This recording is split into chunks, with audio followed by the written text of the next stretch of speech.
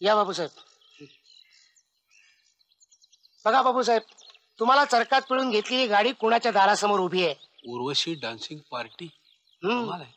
हो तुम्ही सांगितलेल्या गोष्ट ऐकून डोकं अगदी सुन्न झालंय हो हम्म, हे प्रत्यक्ष पाहिलं आणखीन दाखवतो. चला. कुठं? माडीवर. हा गाडीचा पुरावा पाहिलात. आता माडीचा पुरावा दाखवतो.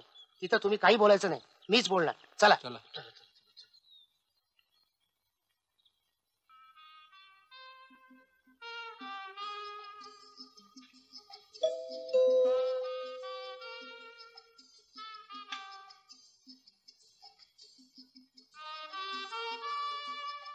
नमस्कार.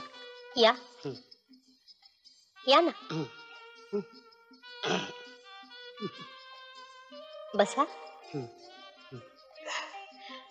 बसा. कुठून आला आहात आपण? आम्ही आम- अमरावतीहून आलो हो. असं का? तुमची कीर्ती फार ऐकली होती. म्हटलं आमच्या भागात तुमचे काही खेळ व्हावेत. किती खेळ घेणार आहात आपण? तरी दहा खेळ घेऊ आम्ही. लांबचा प्रवास आहे पण तुमची गाडी आहे ना स्वतःची? हो आहे की. दारापुढे उभी आहे ती माझीच गाडी. पण व्यवहार ठरवायला मात्र मालकांना बोलवणार? झोपलेत ते. उठवते त्यांना. कशा लोकांस त्यांची झोप मोड? आम्ही येऊ पुन्हा तासाभराने इकडे. पण चहा तरी घ्याल की नाही? आलेच मी.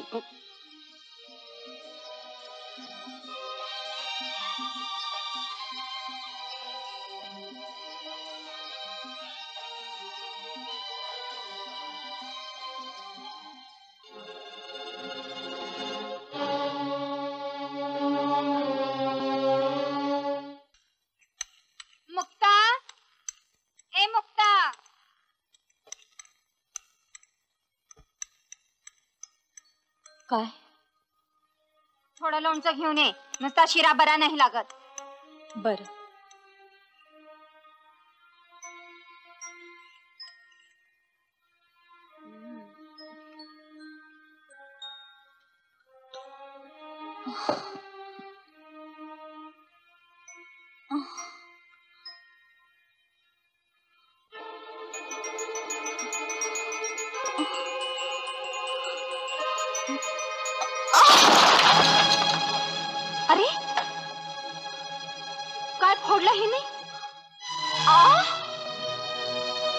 जळलं मेला तुझं लक्षण? बरणी फोडलीस ते फोडलीस आणि सत्यानाश केला सगळ्या लोणच्याचा. आता हे कोण भरून देणार? तुझी आई का तुझा बाप? ते दल भद्रे काय देणार. दिवाळ सणाचे सुद्धा पैसे दिले नाही. अवदाचे सत्यानाश होऊ दे तुझा आणि तुझ्या आई बापाचा. आई साहेब तोंड आवरा. माझ्या आई वडिलांना शिव्या देऊ नका. ते भिकारडी नाहीत. तुमच्या गटात त्यांनी घरादाराची होळी केली. तरी तुमचे हा अजून कमी होत नाही. इतके दिवस ऐकून घेतलं पण आता फार झालं मला उलट उत्तर देतेस एवढा बळ कुठून आला तुझ्यामध्ये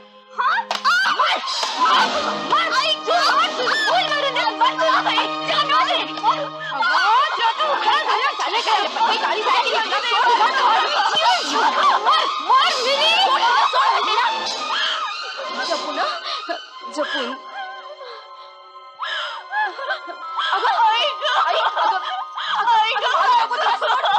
साहेब खबरदार माझ्या मुलीच्या अंगावर हात टाका. बापू.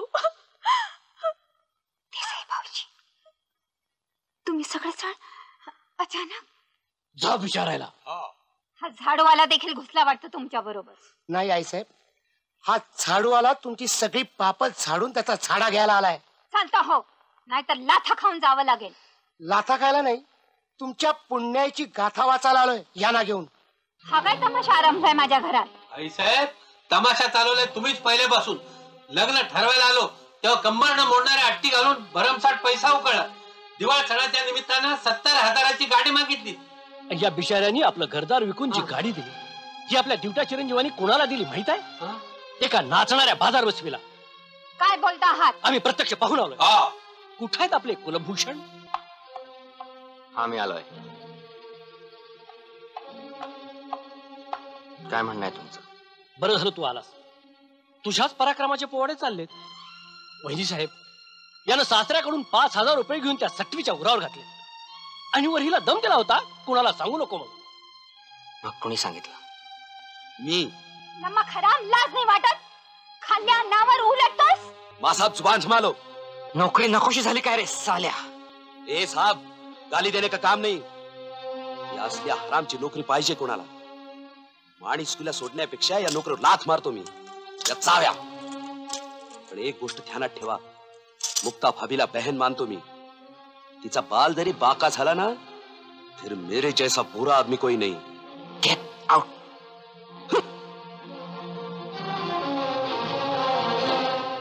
मिलास काय म्हणतात हे? ते काय वाटेल ते म्हणतील. एका फडतूस ड्रायव्हरच्या सांगण्यावरून. पुरावा काय आहे? पुरावा? हा पुरावा. आधी आपल्या पूज्य मातोश्रीला दाखवतो. वहिनी साहेब हे बघा. किती चांगल्या भावनेने मी हे लग्न जुळवलं होतं. यांना सांगितलं होतं सोन्यासारखं स्थळ आहे हातचं सोडू नका. पण सोनं राहिलं पितळ मात्र उघडं पडलं तुमचं. विलास कोण आहे ही बाई? माझी प्रेयसी. डरतो की काय सांगायला? काय हे दादा? लाजेनं मान खाली घालायला लावलीस तू. लाज कसली त्यात? पुरुष आहे मी. वहिनी साहेब सत्कारच करायला पाहिजे आपल्या सुपुत्राचा. काही बिघडत नाही. श्रीमंतानीच करायचे असतात असे शो. आता मात्र कळच झाला. बापूसाहेब तुम्ही घेऊन जा मुक्ता बहिणीला त्यासाठीच आलोय मी. माझं घर दाड गेलं तरी माझी मुलगी मला जड झालेली नाही. चल मुक्ता. कुठे घेऊन चाललाय हिला? मला विचारल्याशिवाय. आई साहेब तुमचा तो अधिकार तुम्ही केव्हाच गमावून बसलाय? चल. विलास! शुंभासारखा काय उभा आहेस? तुझ्या डोळ्यासमोर तुझ्या बायकोला घेऊन चालले? थांबव तिला. थांब मुक्ता. न्यायचं नाही तिला.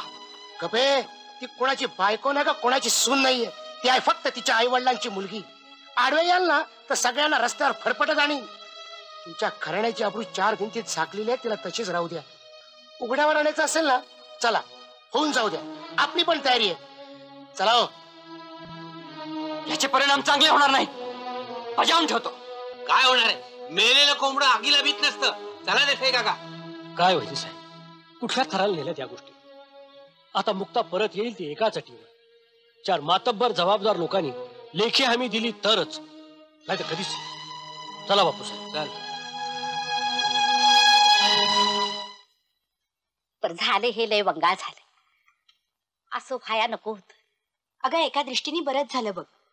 मुक्ता वहिनी आता माहेरच्या तटबंदीत अगदी सुरक्षित राहील. हा. आणि मी ही एनसीसी कॅम्पला जायला मोकळी. नाहीतर माझा जीव उगीच टांगणीला लागला असता. मुक्ता वहिनीला घरी आणायचं असेल तर त्यांना नाक मुठीत धरून शरण जावं लागेल. कुठलं नाक धरत्यात? टोक धरणारी माणसं आहेत ती. तिसनी अद्दल घडवावी असं लई वाटतंय. बरं आपल्या हातात काय आहे? ज्योतिताई वाईस थांबा तिथंच. का हो? साबणाचं पाणी घातले फरशीत वया. पाय घसरल जरा जपून जावा. बर. पण आई कुठे? आंघोळीला गेल्या. तिला म्हणावं मी कॉलेजला गेले. जी. हा? बेटा बेटा हा जा.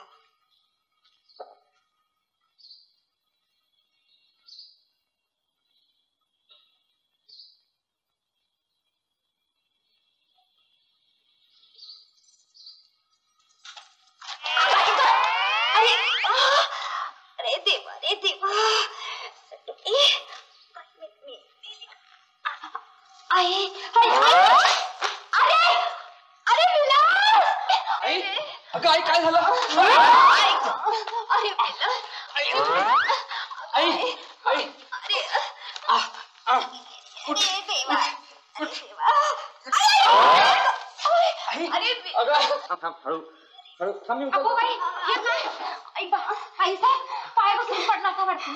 अगं, फारशीवर साबणाचं पाणी ओतून ठेवलंय. आधी सांगायचं नाही? मला काय माहिती तुम्ही एवढ्या लवकर आंघोळ करून येशील म्हणून. मी बारडी आणायला गेलो तेवढा तुम्ही आलाय आई साहेब लई लागलं काय? लागलंच नाही. कंबर दुखते. आणि पाय पण मुरगाळलाय. चल लवकर जाऊन गरम पाणी घेऊन ये. आई. अगं.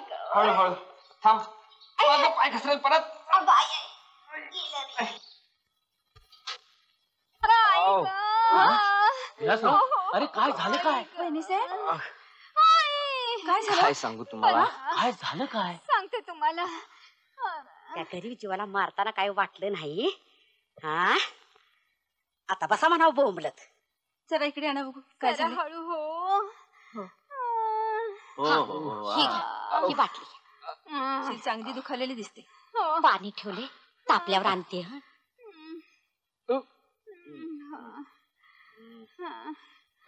थांब थांब थांब. आता कसं वाटतंय? वंस. या कळ्या थांबती. पण काळजाला लागलेला त्या कळ्या कशा थांबतील हो ना. सगळीकडे बबरा झालाय. इतका भयंकर अपमान झाला तुमचा. मुकाट्याने गिळून गप्पा बसणार आहात? गप्प बसून कसं चालेल? पण काय करावं हे सुचत नाही. आमचे ग्रह बदलले असं म्हणून कसं चालेल? चांगला धडा शिकवा त्या हलकट माणसाला. आयुष्यात उठले पाहिजे. विलास घटस्फोट दे बायकोला बसू दे बोंबलत. अहो घटस्फोट म्हंटल की कोर्ट कचेऱ्या आल्याच की. नाही नाही ते बाहेर पडायचं. तशात ती आता बाळंतीन होणार. घटस्फोट देऊन दुसरं लग्न करायचं म्हणजे आणखी अवघड होणार. ओहो मोठी खोड चूक झाली. भोसल्यांची मुलगी केली असती तर हे भोग वाट्याला आले नसते. काय करावं? अहो अद्याप लग्न झालं नाही तिचं. तिच्या बापाला अजून रुखरुख वाटतेय. हा पण काय उपयोग? तुम्ही लोक चूक करून बसला आणि ही केलेली चूक निस्तरता येत नाही. अं, बरं येऊ आम्ही. का? चहा वगैरे घेणार नाही? अं, अशा स्थितीत काही घ्यायला बरं वाटत नाही. हो ना. पुन्हा येऊ की हं? बरं बर. येतो. अं, पण वहिनी साहेब त्या लोकांना जन्माची अद्दल घडवा. गरीब माजोरी जात असते ही. कुरूप होण्यापूर्वीच काट्यानं काटा काढा. चला. अशाच धमाल मनोरंजनासाठी एन एच मराठीला आजच सबस्क्राईब करा आणि बेल आयकॉन क्लिक करायला विसरू नका.